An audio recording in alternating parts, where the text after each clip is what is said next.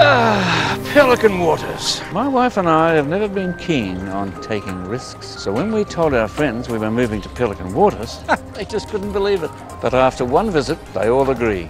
There's something about Pelican Waters that makes you want to stay. Come on, if Mr. and Mrs. Cautious could do it, so can you. We definitely made the right move. Pelican Waters, sharing some waterfront magic today.